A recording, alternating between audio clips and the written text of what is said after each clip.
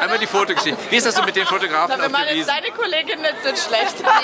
Also es ist ja ganz einfach. Die machen 8 Millionen Bilder und in der Zeitung ist immer das Schlechteste. Und ich glaube nicht, dass es nicht ein einziges besseres Foto gegeben hätte, aber wird nicht genommen.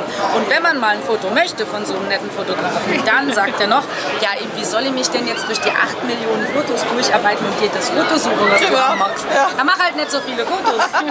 Bitte, Martin, der macht eins und das ist der Treffer. Martin macht das Also ich mache mit meinem iPhone manchmal ein Bild und das schaut super aus. Sieht schon immer besser aus. Ich glaube, ich sollte Fotografin werden. Das wäre nur noch die Drittkarriere.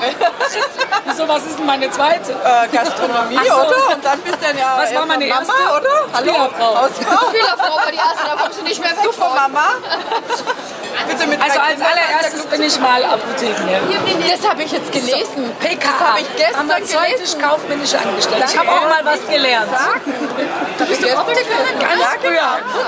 Ich bin gerade Optikerin, du Apothekerin. Schau. Du, dann können wir ja einen Laden aufmachen, so wie in Amerika, so ein Drugstore. Ja. Wenn jetzt bald alles hier frei wird, dann können wir alles verkaufen. Genau, und zwischendurch verkaufen wir noch deine Medikamente, Und Kosmetik, Tanja macht Yoga. Mach Yoga. hinten, im Hintergrund. Ja, dann machen wir dann. Ich mache euch eine nette Uniform. Du machst uns das Outfit. Yoga. Du machst uns das Outfit. Weil diese hässlichen Apotheken, Apothekenkittel Ja, es ziehen nicht halt mehr. so viele, aber Yoga-Linie finde ich toll. Nee, Yoga-Klamotten. Nicht so viel schöne. Scheint haben wir schon Geschäftsidee kreiert hier beim Charity. Ja, vor allen Dingen Und praktisch. Teil gehen wir ab ans Charity. Ans Wohlherz.